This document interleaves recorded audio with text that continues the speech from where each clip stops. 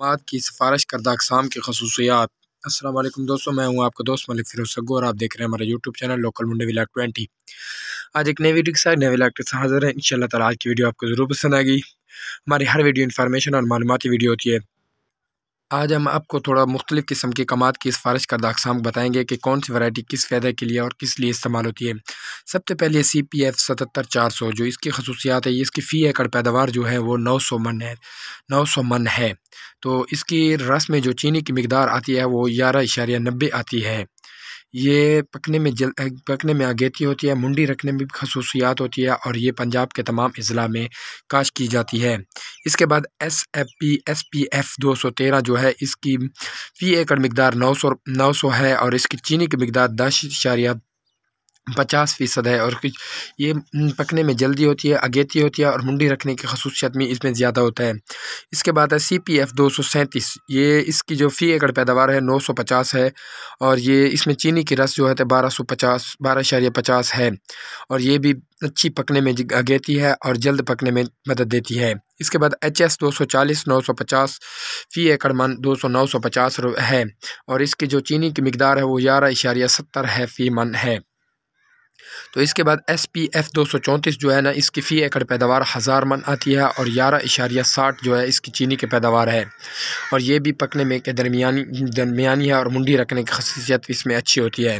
इसके बाद C P F दो सौ छियालीस, इसकी फ़ी एकड़ पैदावार जो आ रही है, वो ए दस, ए, एक हज़ार पचास मन है फ़ी एकड़। और इसकी चीनी की मकदार जो आ रही है, बारह इशारिया पचास है। पचास है और ये भी पकने में अगेती होती है।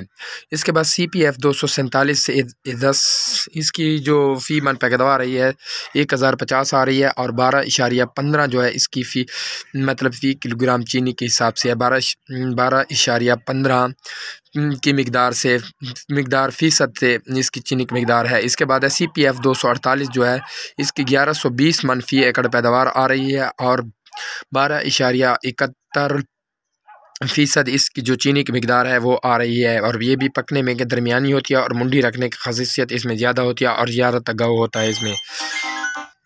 इसके अलावा सी पी एफ़ दो सौ सैंतालीस, इसकी फ़ी एकड़ पैदार एक हज़ार पचास और इसकी जो नस्बत आ रही है, वो चीनी की मकदार बारह इशारे पंद्रह है। सी पी एफ़ दो सौ अड़तालीस, ग्यारह इशारे बीस, इसकी ना, ग्यारह सौ बीस मन फ़ी एकड़ पैदावार है। इसकी और बारह इशारे इकहत्तर फ़ीसद चीनी की मकदार इसमें आ रही है। इसके बाद सी पी एफ़ दो सौ उनचास है।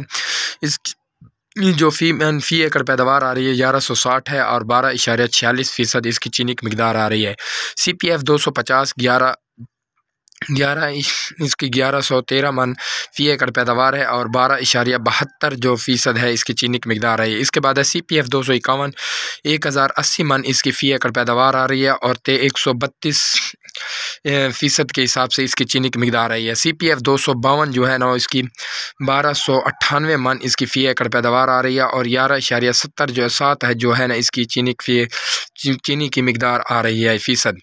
और सी पी एफ़ दो सौ तिरपन जो है, ग्यारह सौ तिरसठ मन फ़ी एकड़ पैदावार है इसकी और बारह सौ चौवन जो है, इसकी मतलब चीनी की मकदार आ रही है। इसके बाद S S L S L S G बारह तिरासी जो है ना, ग्यारह सौ अस्सी मनफी एवकड़ पैदावार है और बारह इशारिया तीस फ़ीसद जो इसकी चीनी की मकदार आ रही है। इसके बाद है सी सी पी एस जी दो बाई पच्चीस पच्चीस जो है ना, ग्यारह सौ पचास इसकी फ़ी में एकड़ पैदावार है और तेरह सौ तीन तीस जो है ना इसकी मतलब चीनी की मकदार फ़ीसद चीनी की मकदार पकने की ये पकने में दरमियानी सलाहियत रखने बीमारियों को ख़िलाफ़ तवाफ़त और मजूद मोहम्मद मुजामत के हामिल होती है। तो ये थे आज के सिफारिश करदा अकसाम। इन आपको ज़रूर पसंद आएँगे। अगर पसंद आए तो हमारे चैनल को लाइक और सब्सक्राइब ज़रूर करेंगे। मिलेंगे अगली वीडियो के साथ। अल्लाह हाफिज़।